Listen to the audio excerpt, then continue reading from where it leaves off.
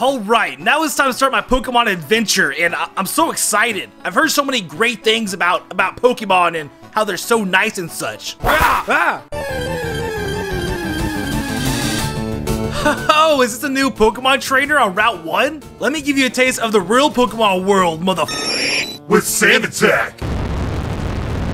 Did someone say Sand Attack? How about Sandstorm?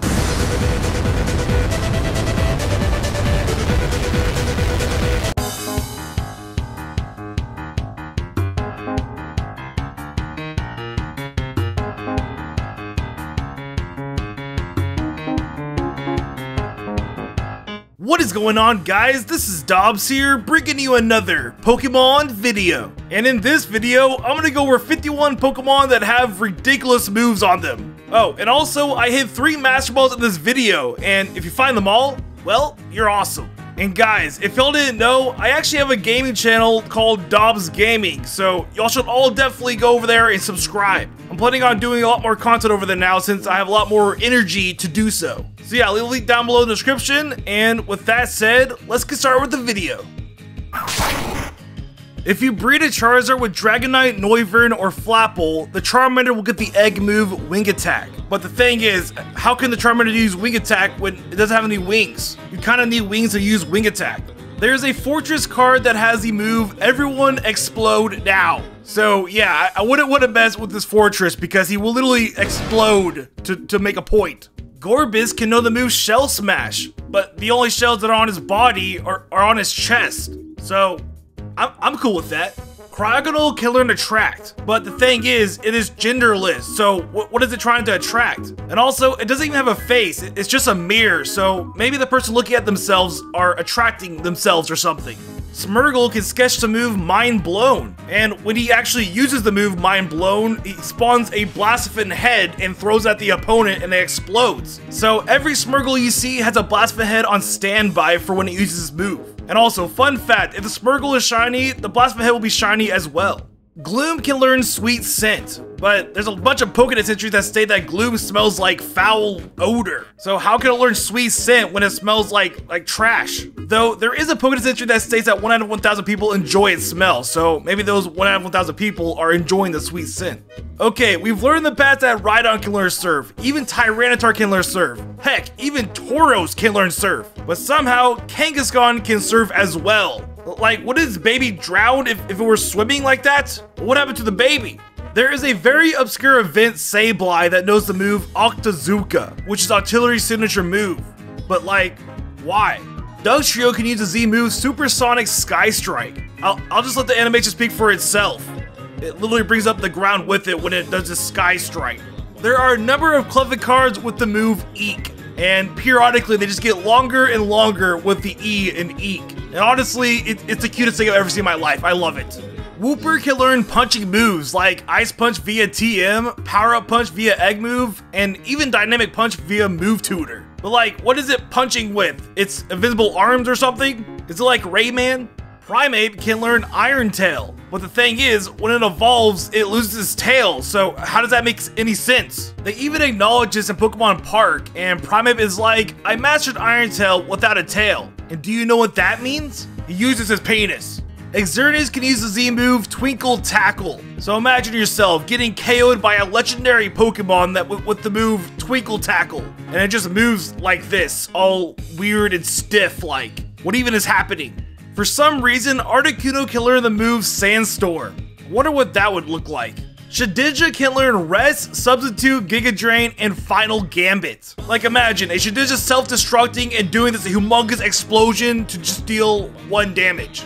Mantyke, a cute little one foot tall fish, can learn the move Earthquake. How is that even possible? That That is like ridiculous. How are you gonna tell me that Mantyke can learn Earthquake, but not Entei, a legendary beast Pokemon? Lapras in only Generation 1 can learn the move Solar Beam, which is so random and, and makes no sense. No wonder Game Freak changed it in Generation 2. But funny enough, in Let's Go, it's like a copy-paste of Generation 1, so Lapras can learn Solar Beam in that game. So you could totally just transfer the Pokemon Sword and Shield and just catch people off guard with it. Doduo can learn Fly, despite not having wings. Like, look at it. This is what it looks like in Pokemon Stadium. It's flying.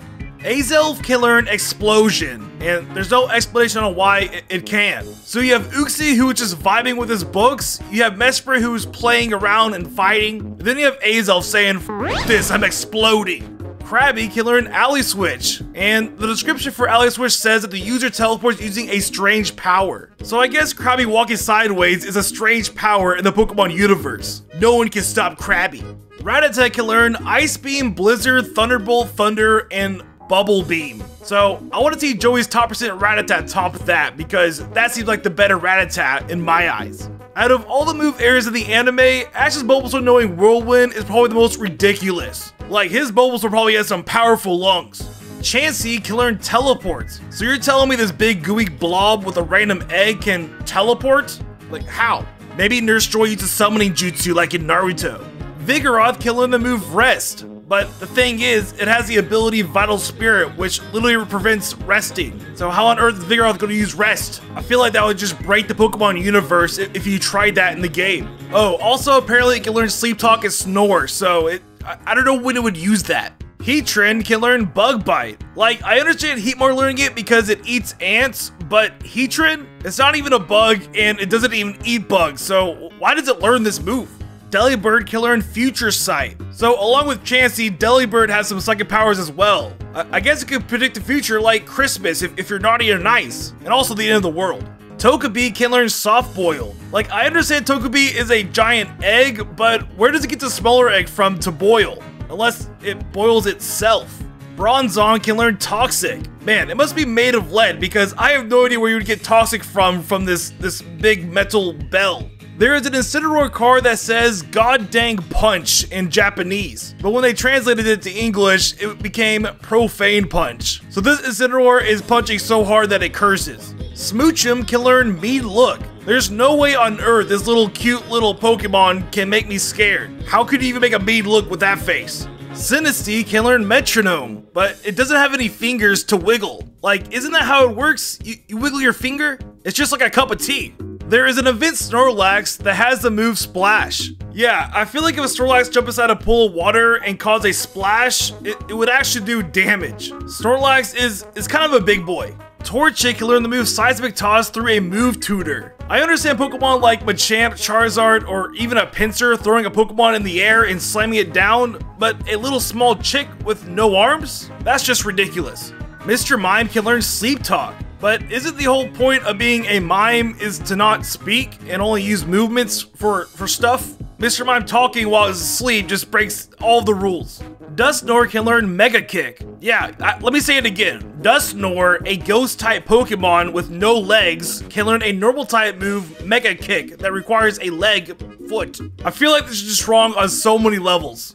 Chandelure can learn Acid. So yeah, if you have a chandelier hanging around at your house, uh, like on the ceiling or something, uh, I will probably never visit you. That just sounds like a death trap.